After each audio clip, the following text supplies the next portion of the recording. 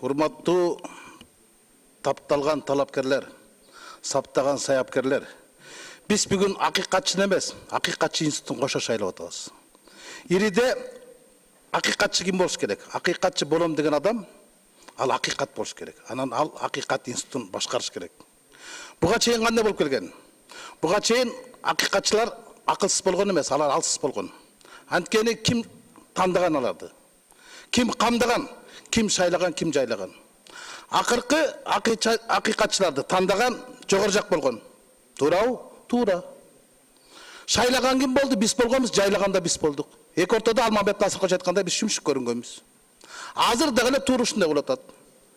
акыйкат болбосо акыйкатчы анан кийин кантип ошол акыйкатчы институтун башкара алат мындай эле да маселе эгер мамлекетке мамытов керек болсо анда баардыгыбыз шайлашыбыз керек жок мамлекетке акыйкатчы институт керек болсо анда токомболовичти жайлашыбыз керек да эрита карасартованы шайлашыбыз керек болду ушул эле маселе эгерде эми карап көргүлө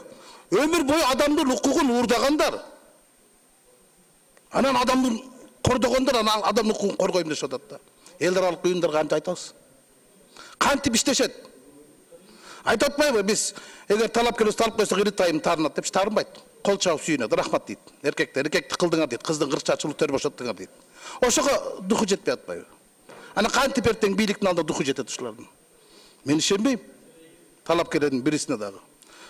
татыктуу талапкер бул акыйкатчы институт күчтүү болгондо гана адамдардын укугун коргой алат ал эгер өзүнүн укугун коргой албаса